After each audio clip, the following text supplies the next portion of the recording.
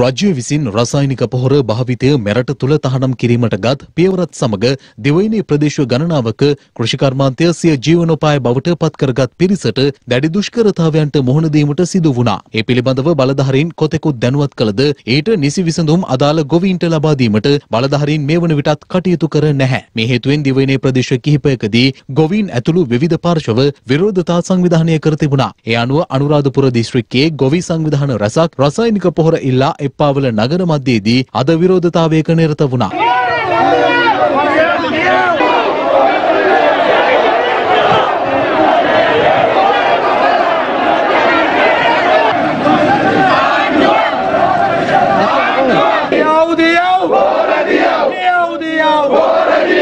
මේ තීරණය අසාර්ථක තීරණයක් කියලා. මේක වැරදි තීරණයක්. මේ රටට බත සපයන්න බෑ. අපිට එනම් පිට රටට දත නිය නිය නිය. ඉන්න වෙයි. එමෙන්ම අනුරාධපුර රාජාංගනය ගොවි ව්‍යාපාරයේ ගොවි සංවිධාන කිහිපයක්ද විරෝධතාවයක් සංවිධානය කර තිබුණා. නමුත් ඒ ගම නගර මැදයේදී මෙම විරෝධතාවය පැවති අතර එම ගොවීන්ද ඉල්ලා සිටින්නේ පවතින පොහොර හිඟයට වහාම විසඳුම් ලබා දෙන ලෙසයි. ගොවි දණ්ඩායට හෝර දියව්! දියව් දියව්! හෝර දියව් ගොවි දණ්ඩායට හෝර අපි කොළඹ වට කරලා කරන්න පුළුවන් හැම දෙයක්ම මේ ගොවි ජනතාව යොදා කරනවා කියන එක රාජපක්ෂලාට මතක් කරනවා මේ අවස්ථාවේදී. පොළොන්නරුව අරගලංවිල ප්‍රදේශයේදීද පවතින පොහොර හිඟයට වහම විසඳුම් ලබා දෙන ලෙසට ඉල්ලමින් ගොවීන් පිරිසක් විරෝධතාවයක් පැවැත්වීමට කටයුතු කළා. එම විරෝධතාවය සඳහා සමගි ජනබලවේගේ පාර්ලිමේන්තු මන්ත්‍රී කිංස් නෙල්සන් මහතා ඇතුළු තවත් මන්ත්‍රීවරුන් පිරිසක්ද එක්ව සිටියා.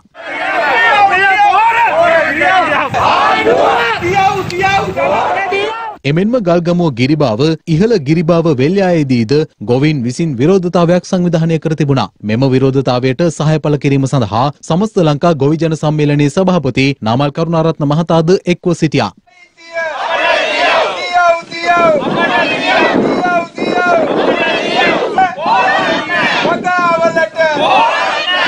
දැන් ඒ පෝර ගාන කාලේ පැනලා ඒක නිසා දැන් මේ ගොයමින් සාර්ථකස් වෙන්න ගොවියට ගන්න බෑ අන්න ඒකට ආණ්ඩුව වන්දි ගෙවන්න ඕනි ඒ වගේම තමයි ගොවියට දුන්නේ නැති පෝර ටික සල්ලි වලට නෙමෙයි නොමිලේ දෙන්න ඕනි අපිට හරියට කුඹරට යොදා ගන්න පොහොර ටික ලැබිලා නැහැ. ඉතින් මං හිතනවා මේ රටේ ඉන්න පාලකයෝ පුෂ්කර්මාන්තය ගැන දන්නේ නැහැ. මේ ඒකයි මේම වෙලා තියෙන්නේ. මේ අතර ඉන්ධන මිල ඉහළ යාම ඇතුළු තවත් ගැටලු රැසක් මුල් කරගනිමින් සංවිධානය කර තිබූ තවත් විරෝධතාවයක් කිරිඳිවැල නගර මධ්‍යයේදී අද පැවැත්වුණා. මේ සඳහා සමගි ජනබලවේගේ පාර්ලිමේන්තු මන්ත්‍රී හර්ෂණ රාජකරුණා මහතා ඇතුළු සමගි ජනබලවේගේ තවත් ක්‍රියාකාරීන් පිරිසක්ද එක්ව සිටියා. දියව් දියව්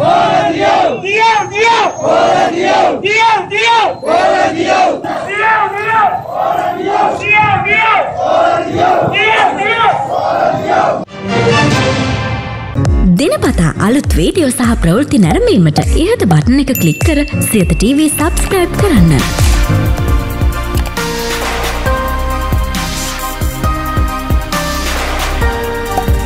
අලුත් වීඩියෝ ගැන මුලින්ම දැනගන්න මෙම සීනුව ක්ලික් කරන්න.